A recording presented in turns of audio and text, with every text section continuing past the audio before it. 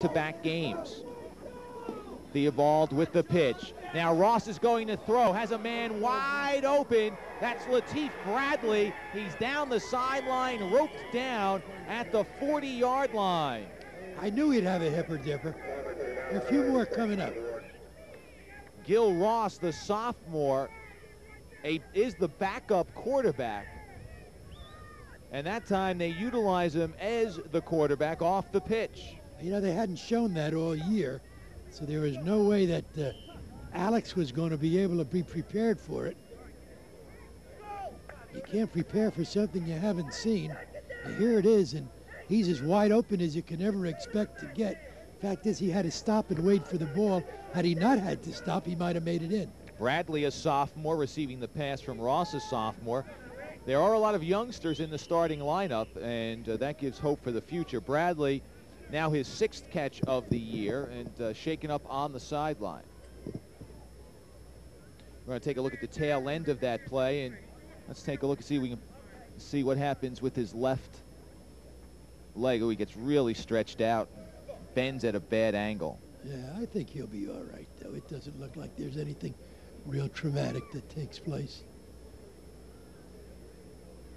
He's slow getting to his feet on the far sideline. He's up now. He's up.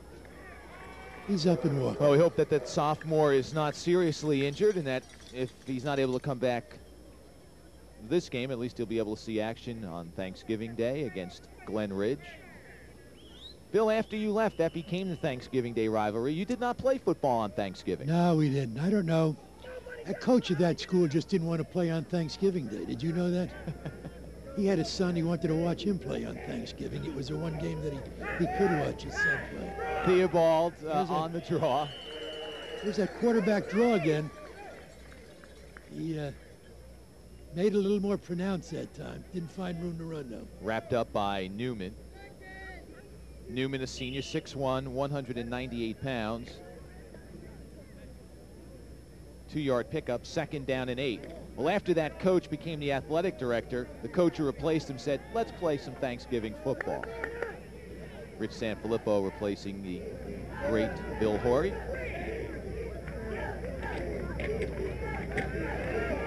Theobald hoping to get to the outside.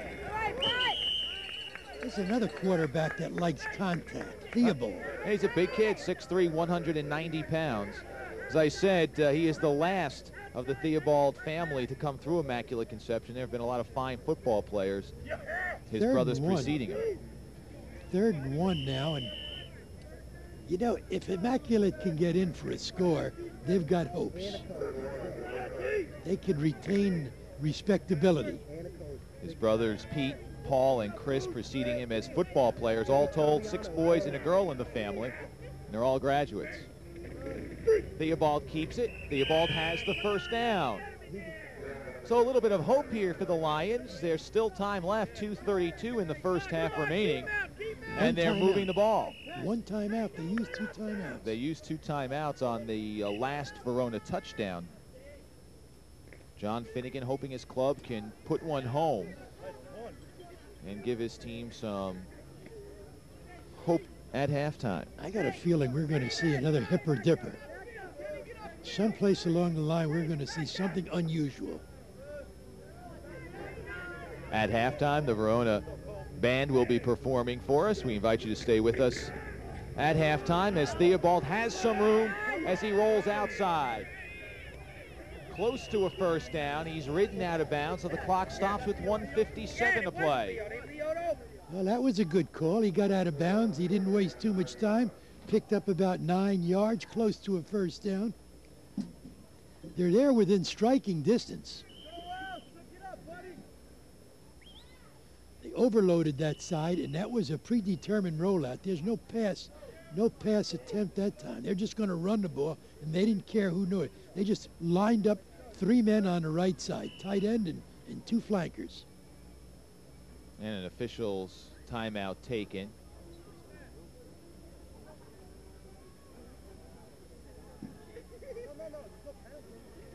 Not sure what the uh, delay is, but at any rate, we get the word from the sideline that Latif Bradley, and you see him there sitting down, suffered a groin pull. Is that right? Uh, not sure if he'll be back, but at least a groin pull is not nearly as serious as a knee injury, which uh, at first was feared. The sophomore trying to And the delay was caused by an equipment malfunction by the nose guard. Sophomore hoping to get back in, disappointed on the bench there. The ball is loose on the ground, and Theobald had to reach out to grab it. Surprising that there's been some problems on the exchange. I mean, Theobald, though this is his first year at quarterback, it is the eighth game that he's playing. And Kevin Connor, the center, is in his third year as a starter. Last year, he was a second team All Colonial Hills Conference selection. He's also an interesting story in that he has been selected as Mr. Immaculate Conception, Mr. IC, and he, along with Miss IC, lead off uh, all assemblies and what have you with the prayer. So he's a good student. He's popular in the school.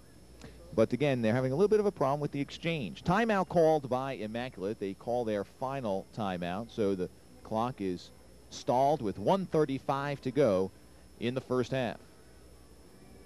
Beautiful fall afternoon here in Verona, high on the hill. Is that a- their third timeout? Yeah, that is their third and final timeout, and since they've called one, we'll take one. We'll be back. 135 remaining in the first half. 21 nothing. The Hillbillies on top.